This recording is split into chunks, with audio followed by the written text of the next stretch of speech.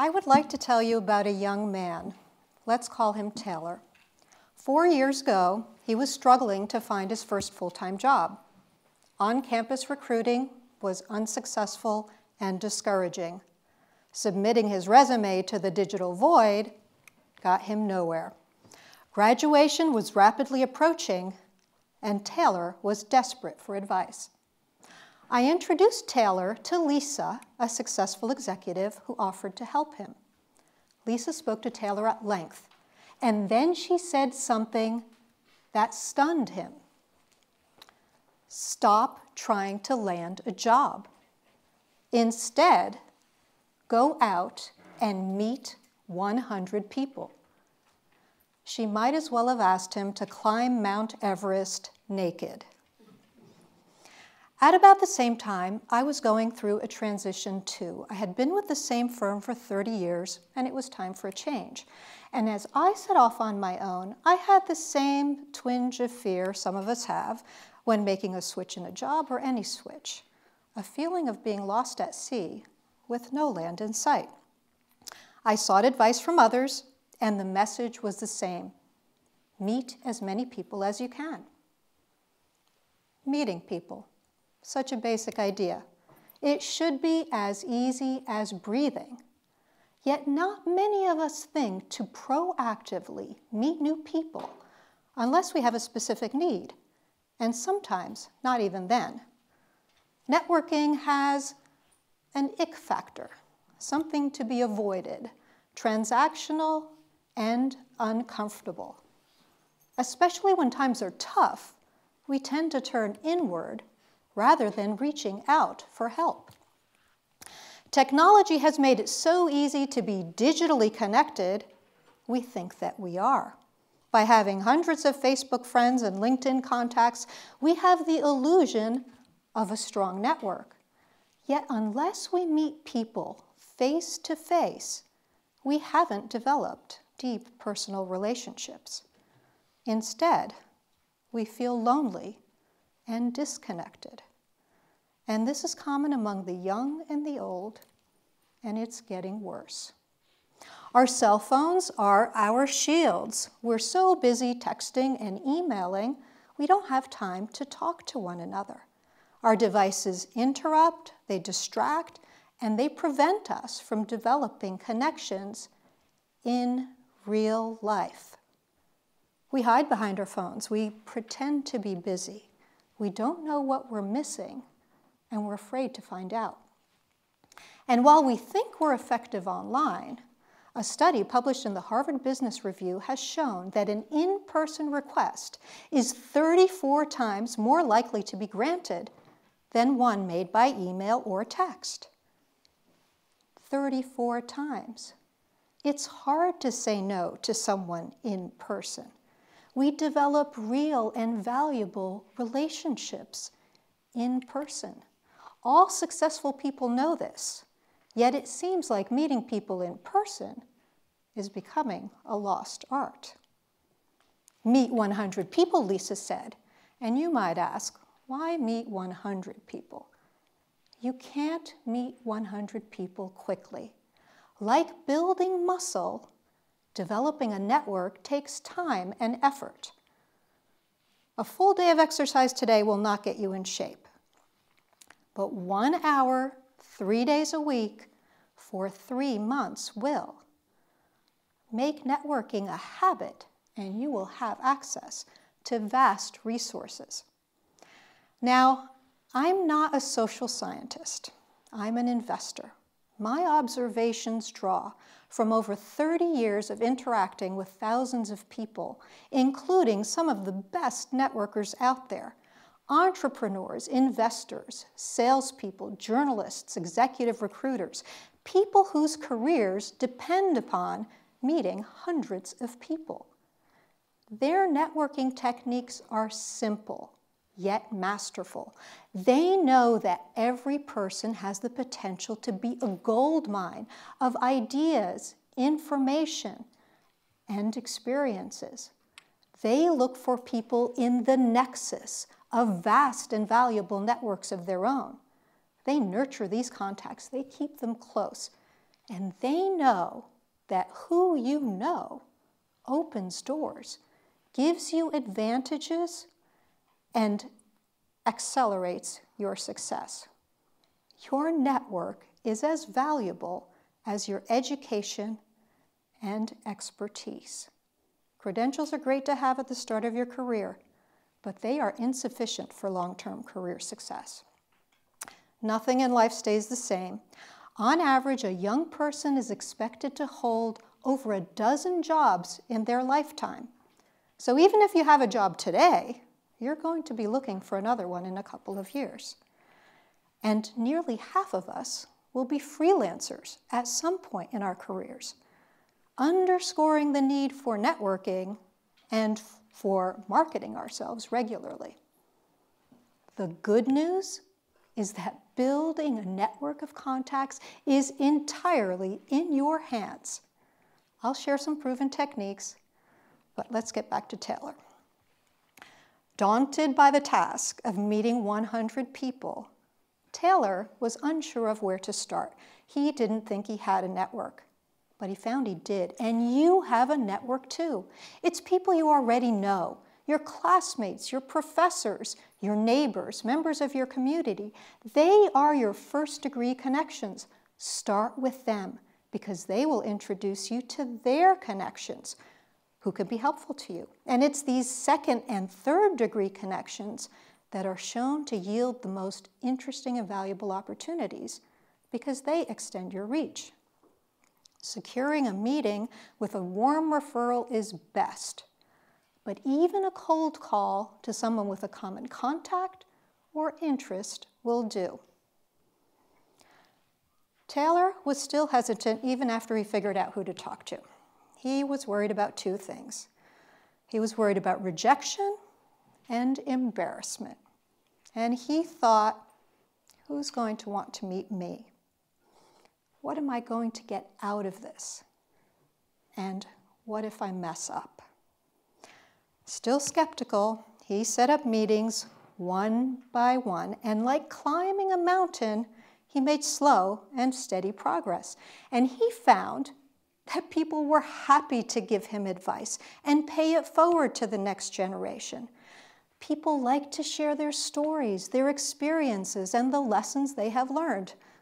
Frankly, people like to talk about themselves. He also found that he had something to add to the conversation regardless of age, gender, race, ethnicity, life experience, everyone has something of value and can add it to the conversation. I know I learned something from everyone that I meet.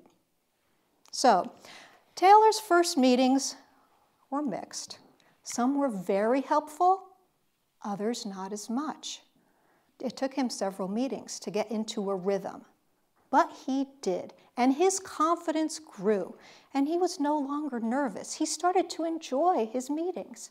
And he found that if he had a humble attitude, one that was willing to learn, others were willing to help him. Let me give you a quick update on three steps he took, which helped him and frankly will help anyone as they build their network. The first one is prep. And preparation starts with you. Figure out what is of value to you and what it is you want. The more specific you are about what you need and want, the more easily somebody can help you. Then do your homework. Do research on the individual, the organization, the industry. Prepare a list of thoughtful questions. Anticipate what you might be asked and practice responses be systematic. I was invited to be on a podcast recently, and I asked what could I do to prepare, and they said, no, nothing at all, just come. I went online, I did research on the host, I listened to several interviews with previous guests, and I learned that the hosts asked each guest the same opening and closing questions. I was totally ready when I was asked those same questions. Step two is connect. The connection, or the metaphorical handshake, is the key. And it starts with just that a firm and friendly handshake, a look in someone's eyes, and a smile. Approach every meeting with a positive and cheerful attitude. Now, when you meet someone new, they're likely to be different from you at first. It is your job to figure out the topic that brings you closer. When I go into someone's office, I look for the clues they have placed there revealing their interests a book, a memento, a photo. Sometimes the simplest things can create an immediate bond. The idea is to build a relationship that is mutually beneficial. And for that, you must be authentic. Humans are good at detecting sincerity. Show respect. Listen well. Really listen well to find ways that you can be helpful too. And be curious. The more interested you are, the more interesting you are. And Step three are next steps. Magic happens when you meet. To keep it alive, you must follow up. This is where many fail, but you won't. It is a simple task to write a brief email showing your appreciation. Do it right away. It's essential to say thank you. If someone gave you money, you would say thank you. Everyone's time is valuable. So you need to show that appreciation. And if you really want to impress, write a note. It's so rare nowadays, you will certainly be remembered. You planted the seed with an in person meeting. Now it's time to water it. If it was a great meeting, find ways to meet again. Send an article or a suggestion. Find ways to be helpful to continue the conversation. Now, you might say, I don't have time to network.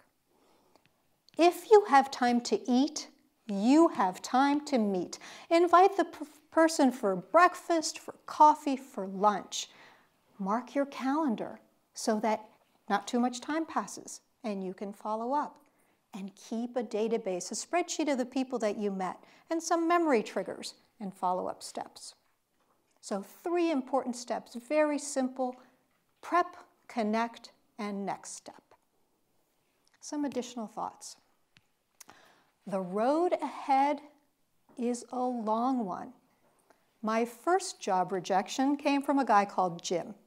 And Jim said no to me so politely, I always thought highly of him. I was really surprised how many times our paths crossed over the years. He once asked me for career advice.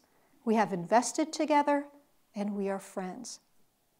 So be polite and be nice. You never know when you're going to come across someone further down the road. Don't underestimate serendipity. Zappos designed their office space to allow employee intermingling in what they called intentional collisions. Change up your routine, bump into someone new. Talk to people in the lunchroom, at the elevator banks, on the soccer field, at this conference. Chance encounters can germinate new ideas and yield unexpected benefits. Lifelong networking allows you to be your own journalist on life. Rather than just read about what's happening, talk to people, find out firsthand what are they doing and seeing? How are they interpreting events? The more people you meet, the more your eyes will be open to what you don't know you don't know.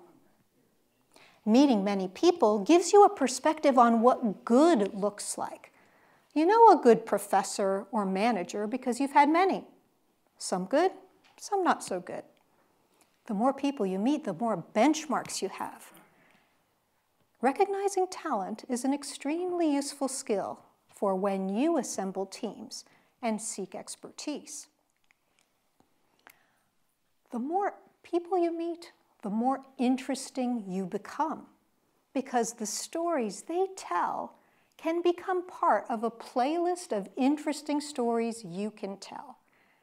And you too can become a connector and introduce people to one another. Each introduction is a gift you're giving. And the more people you know, the more gifts you can give. Your network is valuable currency. it adds to your social capital. The best thing Taylor could have done was to reframe his job search to one of meeting people. It helped reduce the tremendous stress that he was feeling and instead laid the foundation for a network of lifelong value. He increased his confidence and he learned a lot.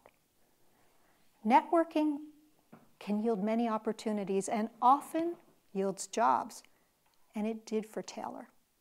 A job he would not have gotten had he not met so many people. I find investments and clients by continuously expanding and nurturing my own network. But we each got so much more. And that's why this advice works for all of us at any age or any stage. We found that networking is accessible, joyful, and life affirming. We looked for and found the treasures each one of us has to offer. So approach networking with the right mindset one which is authentic, humble, open, curious, and helpful. Meet people in person, connect, and stay in touch. The more people you meet, the luckier you get. Go out and meet 100 people. They are waiting to meet you.